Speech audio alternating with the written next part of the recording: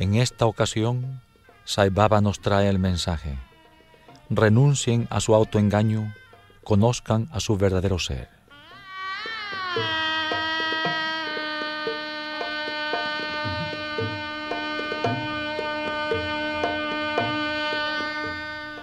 Krishna reprendió a Arjuna. Renuncia a tu pusilanimidad. Saca tu valentía y lucha. Esta debilidad que te ha invadido no es digna de un gran héroe.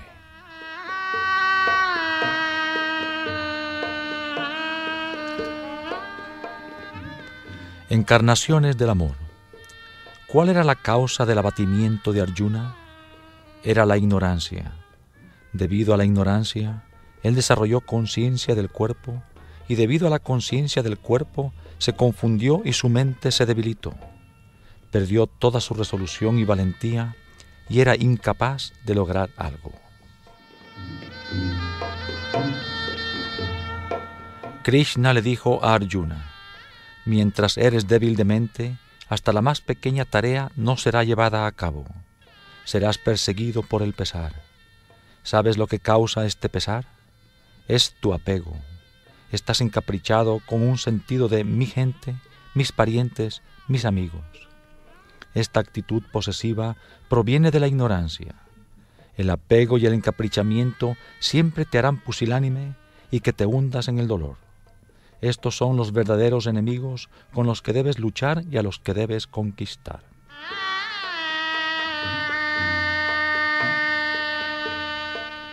Mientras seas influenciado por esta actitud posesiva, pensando solo en ti mismo, en tu familia, en tu gente, en tus cosas, puedes estar seguro que tarde o temprano te verás lanzado al pesar. Debes cambiar tu enfoque alejándote de tu pequeño ser y sus inquietudes por yo y lo mío. Ponte del lado de la voluntad de la divinidad. Viaja del egoísmo a la carencia de egoísmo, de la esclavitud a la liberación.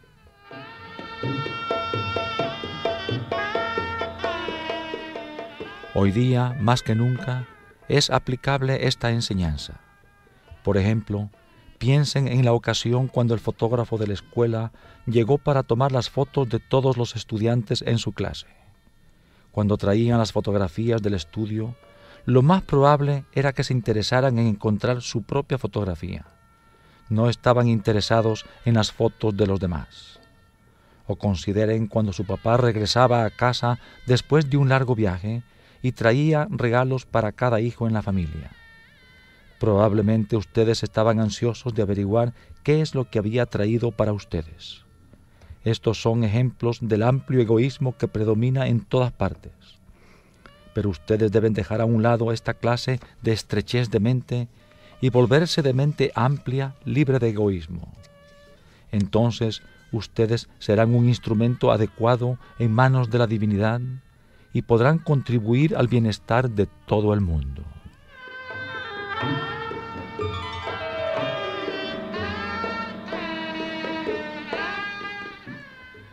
Antes de la gran guerra a la que se hace referencia en el Gita, Arjuna había participado en una serie de batallas, pero nunca antes se había sentido abrumado por el abatimiento y el apego. Ahora, el mismo Arjuna estaba agobiado por el pesar cuando se dio cuenta de que los oponentes contra los que tenía que luchar eran su propio abuelo, sus parientes y su maestro. Este sentimiento posesivo hizo que se sintiera desanimado. Se volvió víctima del encaprichamiento. Sin darse cuenta, le había entrado el sentimiento de lo mío. Conforme crecía esta actitud, su consecuencia, que es el pesar, también crecía. Anteriormente, cuando Krishna había ido en su misión de paz con los del lado opuesto, Arjuna lo había desalentado. Había recomendado encarecidamente la guerra inmediata. Había tratado de convencer a Krishna de que la misión fracasaría, de que las conversaciones resultarían inútiles y que sólo una guerra victoriosa les restauraría el reino que había sido robado a Arjuna y sus hermanos.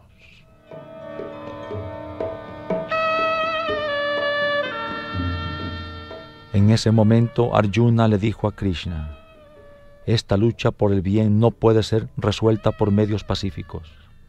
Nuestros enemigos nunca aceptarán los términos de tu misión de paz.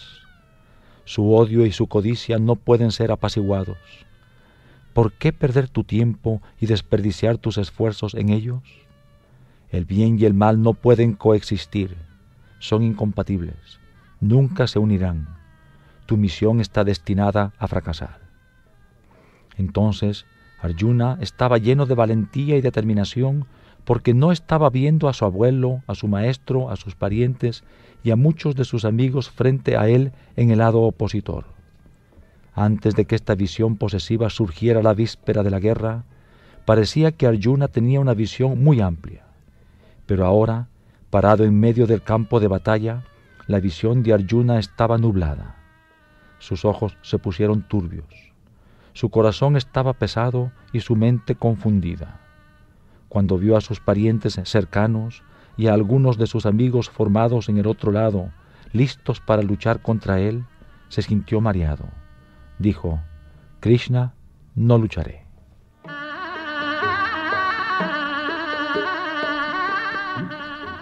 Recuerden que Arjuna iba a luchar en una guerra para proteger la rectitud, una guerra para la que se había estado preparando durante muchos años. Él ya estaba en el campo de batalla y la guerra iba a comenzar. ¿Era ese el momento de ver a sus oponentes como parientes? Cuando Krishna oyó las palabras de Arjuna, se enfadó mucho. Le dijo a Arjuna, eso es pusilanimidad, no va contigo. Una persona audaz como tú, quien siempre ha caminado orgullosamente con su cabeza en alto como un verdadero héroe, ahora parece estar sufriendo de timidez. Un hombre que sufre de tal debilidad no puede ser mi discípulo. La guerra está por comenzar. Las preparaciones finales para la guerra se han estado haciendo durante los últimos tres meses y ahora se han establecido los planes de batalla.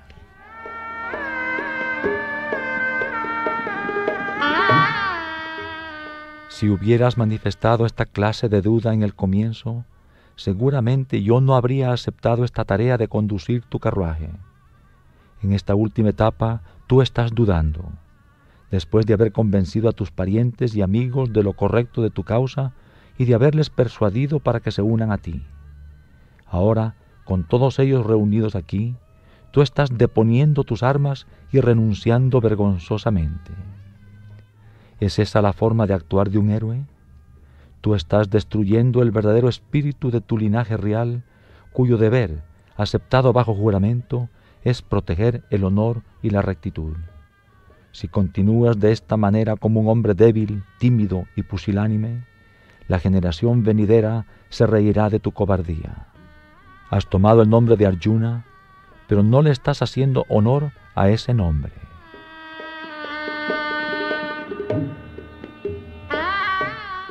¿Cuál es el significado de Arjuna?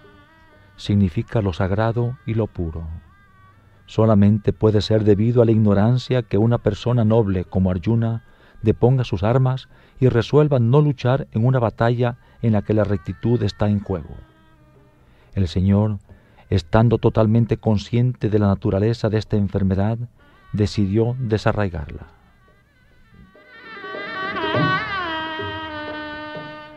En el comienzo del Gita, Krishna hubiera podido enseñar el principio de la devoción y el compromiso hacia el deber y la acción libre de egoísmo.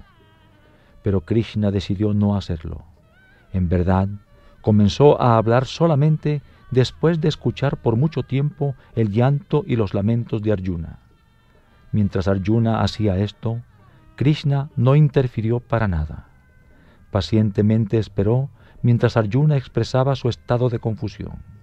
Finalmente Krishna preguntó, Arjuna, ¿has terminado? ¿Has descargado todos tus sentimientos? Fue solo en este punto que Krishna comenzó a enseñar. Así como los estudiantes se vuelven vacíos después de escribir sus exámenes, Arjuna también se sintió vaciado después de sacar todas sus inquietudes. Entonces Krishna le dijo, este terrible defecto de la debilidad de la mente ha nacido en ti. Sé cómo tratar con él, lo curaré. La responsable de este encaprichamiento es la ignorancia. esta ignorancia está causando tu debilidad de mente. Entonces, Krishna comenzó a instruir a Arjuna sobre la sabiduría más elevada, el conocimiento que distingue el verdadero ser del falso, lo eterno de lo efímero, lo sensible de lo insensible.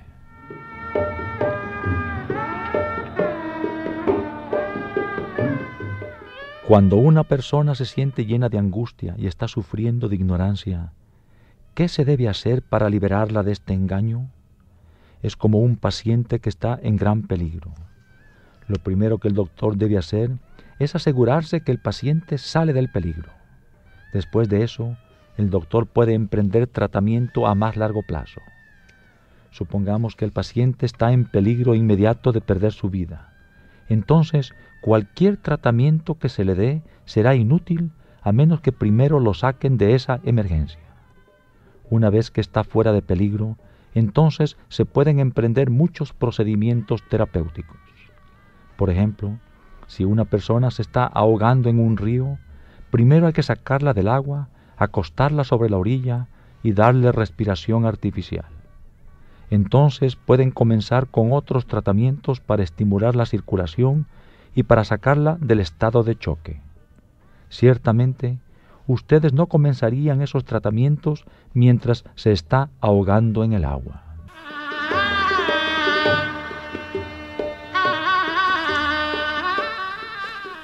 Por tanto, Krishna le dio a Arjuna una fuerte inyección de valentía para evitar que se ahogara en el pesar y el abatimiento.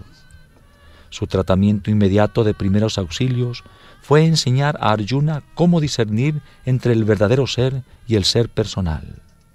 Le dijo, Arjuna, mientras estés agobiado con el temor y la ansiedad, no podrás lograr nada.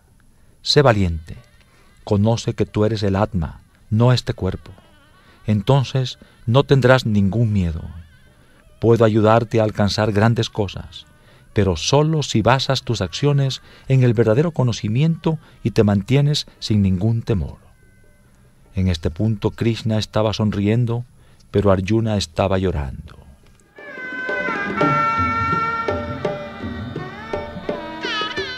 El que siempre está sonriendo es el Señor, el que está llorando es el hombre. Krishna es el verdadero ser, Arjuna es el falso. Uno es la encarnación de la sabiduría y el otro está lleno de ignorancia. Krishna dijo, quisiera explicarte algunas cosas que son muy importantes. En este momento nos estamos comportando en formas diferentes. Yo estoy sonriendo mientras tú estás llorando, pero ambos podríamos estar iguales. O yo me podría volver como tú, o tú te podrías volver como yo. Si yo me volviera como tú, entonces me volvería débil de mente pero eso es imposible. La debilidad nunca puede entrar en mí. Por otra parte, si tú te volvieras como yo, entonces tendrías que seguirme y hacer lo que digo. Ante esto, Arjuna contestó, Swami, haré exactamente como tú digas. Seguiré todas tus órdenes implícitamente. Habiéndole dado a Arjuna el suficiente aliento y fortaleza de propósito, Krishna capacitó a Arjuna para recuperar su fuerte resolución. De ahí en adelante, Arjuna se empeñó en luchar siguiendo las direcciones dadas por el Señor.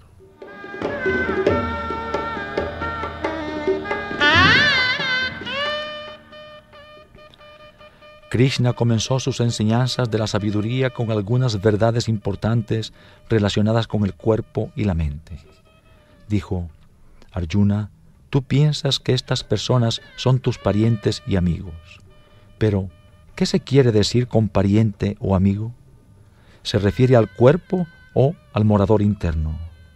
Los cuerpos son solamente burbujas de agua, vienen y se van.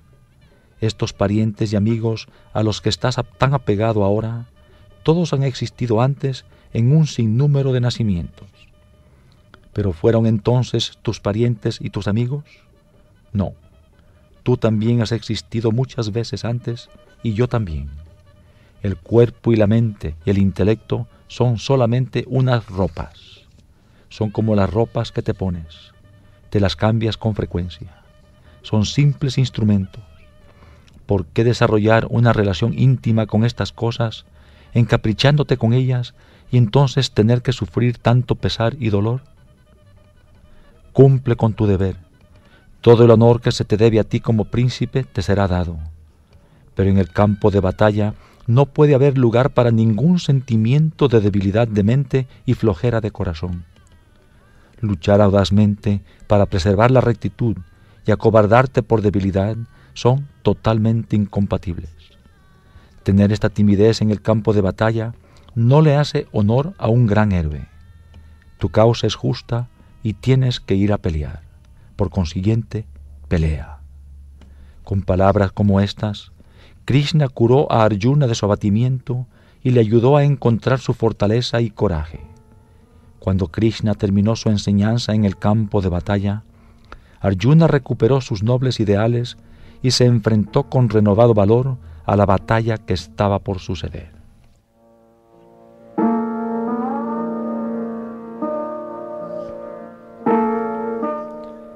Este lugar particular en el cual se iba a librar la guerra, históricamente había sido un lugar sagrado, donde se habían llevado a cabo sacrificios y otros actos sagrados y auspiciosos.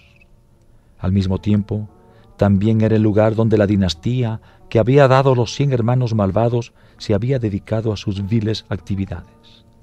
Por lo tanto, este campo era ambas cosas, sagrado y corrupto por el mal.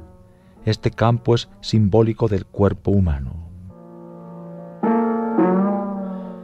Cuando un cuerpo nace es puro y sin mancha. No es víctima de ninguno de los seis enemigos del hombre. Deseo, ira, codicia, encaprichamiento, orgullo y celos. Un niño recién nacido es naturalmente alegre. Quien sea que lo mire, ya sea esa persona un ladrón o un rey, el niño está feliz sonríe a todos los que se le acercan, ya sea que vayan a besarlo o a golpearlo. Como un niño es puro, a su cuerpo se le puede describir como el campo de la rectitud. Conforme el cuerpo crece, adquiere malas cualidades tales como celos, odio, apego, codicia, egoísmo. Conforme se acumulan estos malos rasgos, el cuerpo se vuelve impuro. Lo bueno y lo malo, ambos están metidos en su corazón.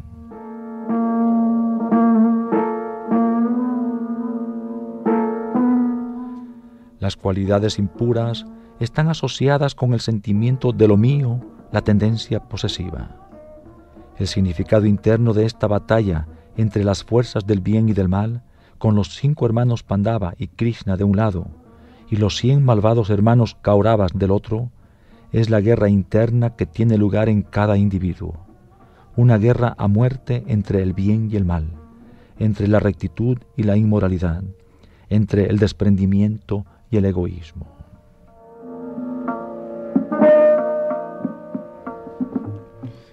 Los hermanos Kaurava representan esas personas que consideran que son suyas las cosas que no les pertenecen. Representan la naturaleza posesiva.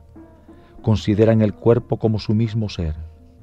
Si observan a las personas de la mentalidad Kaurava, es decir, a los que tienen esta actitud posesiva, ustedes encontrarán que todos ellos se identifican con el cuerpo y los sentidos. La gran guerra entre los Pandavas y los Kauravas solo duró 18 días, pero la guerra entre las fuerzas del bien y del mal sigue durante toda su vida. Nunca termina. Esta batalla se libra en el campo de su propio cuerpo.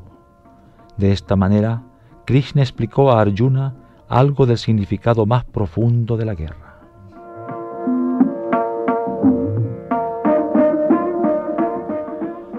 Ustedes podrían preguntarse por qué se le enseñó el Gita a Arjuna. Entre los Pandavas, algunos de los otros hermanos, como el mayor Dharmaraja, quien era un pilar de virtud, podría ser considerado mejor calificado espiritualmente que Arjuna.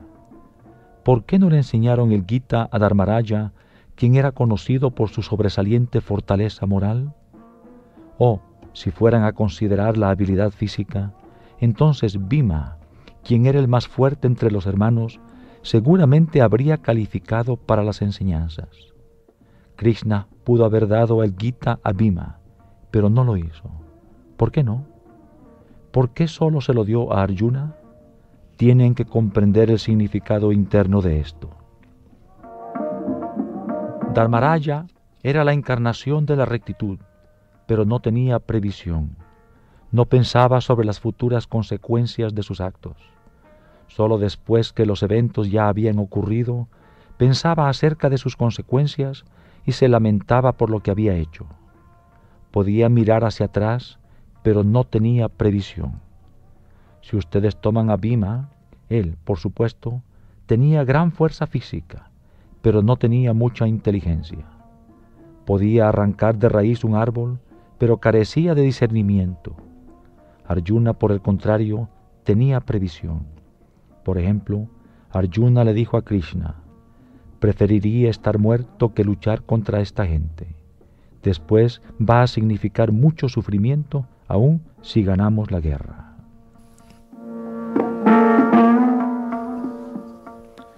En contraste con la angustia de Arjuna acerca de todo el sufrimiento que traería esta guerra, Dharmaraj estaba listo para comenzar la batalla, aunque después se sintió profundamente deprimido acerca de todas las muertes cuando la guerra terminó. Años antes, Dharmaraya había sido atraído a un juego de dados en el que perdió todo, incluyendo su fortuna, su reino y hasta su esposa. Después estaba lleno de angustia y remordimiento. Siempre que una persona sin discernimiento ni previsión tiene que decidir en circunstancias difíciles, invariablemente después lamenta lo que ha hecho. Esta también era la naturaleza del rey Dasarata, quien era el padre de Rama, la divina encarnación, cinco mil años antes. El rey Dasarata carecía de previsión y discernimiento. Temprano en su reinado, Dasarata tuvo que librar una guerra para defender y preservar la rectitud. A esta guerra llevó consigo a su esposa joven Kaikeyi. Kaikeyi había sido una princesa en un reino guerrero y había sido bien educada en el arte de la guerra. En realidad, fue Kaikeyi quien enseñó a Rama a tirar con el arco y algunos métodos de librar una guerra. Cuando Dasarata estaba luchando durante la guerra, una de las ruedas de su carruaje comenzó a desprenderse. Kaikeyi usó su dedo para evitar que la rueda se separara del eje. Al hacerlo, ella salvó la vida de Dasarata, así como la suya propia. Después de haber logrado la victoria, el rey Dasarata notó que la mano de ella estaba sangrando profusamente. Viendo su condición, él estaba tan lleno de encaprichamiento y tan complacido con su valentía y sacrificio que le dijo, Kaikeyi, tú puedes pedir dos favores. Pide cualquier cosa que desees, y haré todo lo que esté en mi poder para concedértelos. Él concedió los favores en gratitud por su acto heroico de salvar sus vidas pero este encaprichamiento con ella lo cegó de la debilidad de mente que ella tenía. Él no especificó qué clase de favores ella pediría ni cuándo surtirían efecto. Ciegamente concedió la promesa de favores sin pensar en ninguna de las posibles consecuencias. Kaikeyi esperó hasta el momento cuando Dasarata decidió entregar el reino a Rama. En ese momento, Kaikeyi pidió a que Rama fuera desterrado al bosque y que su hijo, Bharata, fuera puesto en el trono en su lugar. Entonces Dasarata se sintió desesperadamente arrepentido por haber concedido favores sin establecer condiciones previas. Pero era demasiado tarde para retractarse y el pesar resultante le trajo la muerte.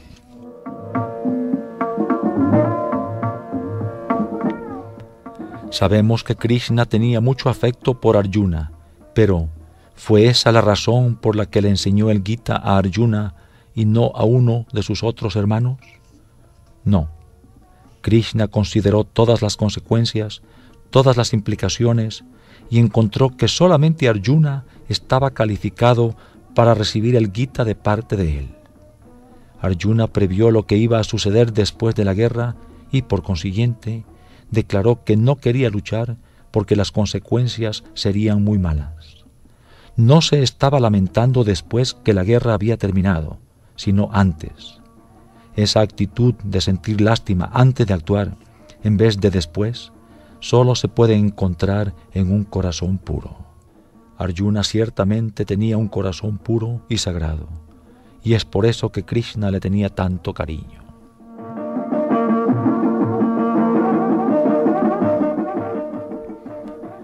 En esos días la gente vivía mucho más tiempo que ahora. En el momento de la Gran Guerra, Krishna y Arjuna ya estaban bastante avanzados en edad según las normas de hoy. Por más de 70 años, Krishna y Arjuna habían estado inseparablemente juntos. Aunque habían estado juntos por tantos años, en ningún momento durante todo ese tiempo Krishna le había enseñado el Gita a Arjuna. ¿Por qué?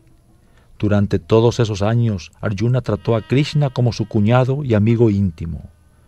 Krishna no le enseñó el Gita a Arjuna mientras Arjuna estuviera viviendo con la conciencia del cuerpo. El momento que Arjuna se entregó y aceptó ser un discípulo, entonces Krishna se volvió su maestro y Arjuna se volvió el estudiante de Krishna. Solo después de este acto de entrega de parte de Arjuna, Krishna le enseñó el Gita. Esto significa que si realmente quieren adquirir conocimiento espiritual de otra persona, antes de que la transferencia de conocimiento pueda fluir libremente, tienen que relacionarse con esa persona como lo hace el discípulo con su maestro espiritual.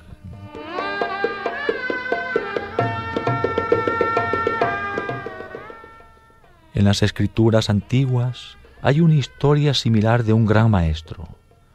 En esa época no había maestro más grande que él, pero él envió a su propio hijo a otro maestro para que adquiriera conocimiento espiritual.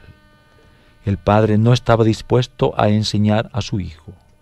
Hizo esto porque sabía que mientras el hijo lo considerara como padre, el hijo no se relacionaría con él totalmente como maestro, y por lo tanto el muchacho no hubiera sido instruido adecuadamente en la sabiduría más elevada. Esta también era la situación de Krishna y Arjuna. Mientras entre ellos existiera la relación de cuñados, Arjuna no podía recibir conocimiento de Krishna. Pero una vez saliera de él este sentimiento de cuñado y entrara en el corazón de Arjuna el sentimiento de estar en la presencia de la divinidad suprema, entonces Arjuna podía aprender de Krishna.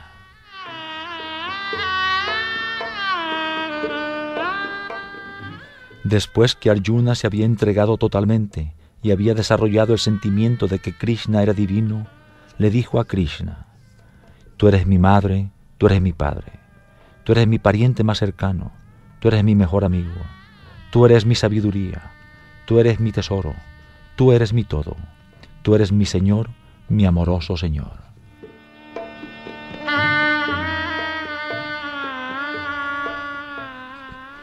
Fue entonces que Krishna lo aceptó como discípulo. En ese punto Krishna dijo, Tú haces mi trabajo, haz todo por mí y yo cuidaré de ti.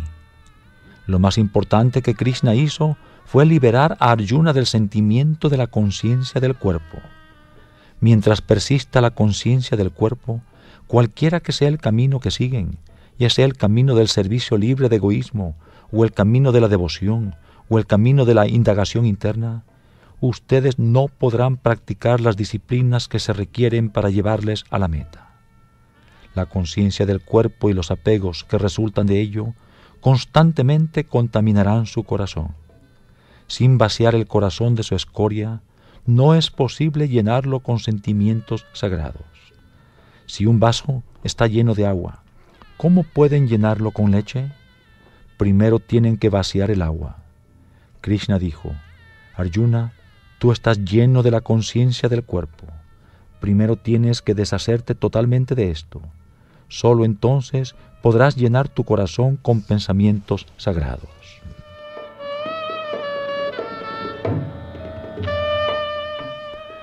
Las enseñanzas de Krishna tenían como fin liberar a Arjuna de su encaprichamiento y del dolor y pesar que resultaba de ello. Los dos pasos más importantes en este proceso son la entrega y la eliminación de la conciencia del cuerpo. Una vez Arjuna había eliminado la conciencia del cuerpo, Krishna estaba listo para revelar a Arjuna la enseñanza espiritual más elevada, la del autoconocimiento. Con eso Krishna despertó a Arjuna de su sueño de la ignorancia. Él dijo, hay un número de razones para tu pesar, pero la más fundamental es tu ignorancia. Tú no has estado consciente de tu verdadera naturaleza y por lo tanto te has sentido abrumado por el pesar. Pero tú has clamado por Dios, has clamado por la rectitud, has clamado por mí. Cuando llores por mí, yo cuidaré de ti y te daré todo lo que necesites.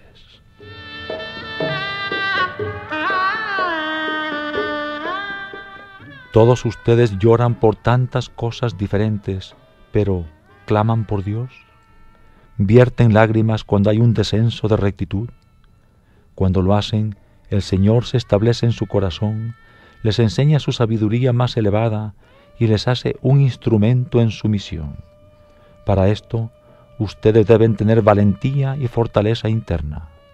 Krishna le dijo a Arjuna, nunca debes tener ninguna clase de debilidad en el corazón. Solo después que quitas esa debilidad de tu corazón es que el poder divino entra y reside en tu corazón. Si no tienes valentía, hasta los corderos te asustarán, para no hablar de los hombres malvados. Debes tener la capacidad de enfrentar toda circunstancia. Si huyes lleno de temor, hasta los monos te atacarán. Pero si tienes un palo y mantienes tu posición, los monos no se te acercarán. Cualquiera que sea la circunstancia, encárala de frente y no des tu espalda. Entonces podrás lograr lo que te propones. La esencia de esta enseñanza es, sé valiente, sé audaz. La valentía es el principal instrumento para lograr cualquier clase de éxito. Ustedes necesitan tener más valentía y más determinación, pero no deben tener valentía ciega y tonta. La valentía debe ir acompañada de discernimiento. Solo entonces será seguro el éxito.